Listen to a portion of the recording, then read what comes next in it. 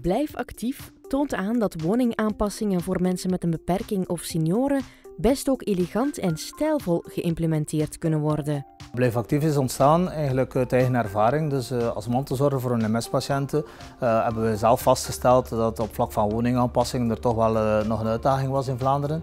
En in die zin zijn we dat zelf gaan organiseren met ergotherapeuten. Je hebt aannemers en dergelijke die daarmee betrokken zijn. En wij coördineren al het gegeven daarmee via de ergotherapeuten die optreedt als een coördinator.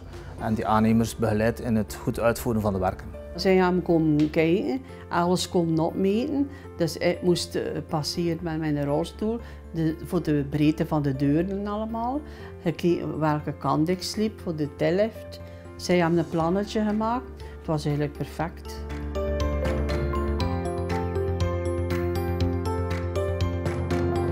In deze woning um, hadden we te doen met een zeer smalle gang en moest er eigenlijk een muur worden weggenomen. Um, we moesten ook zeker weten van moet er een lenteel gestolen worden of niet, kan dat technisch allemaal. De aannemer had het al mee gaan bekijken. De impact van de technische realisatie is niet zo groot als de morele impact. Want mensen kunnen in hun eigen omgeving blijven wonen en dat is nu eenmaal het ultieme doel van hetgeen wat wij doen.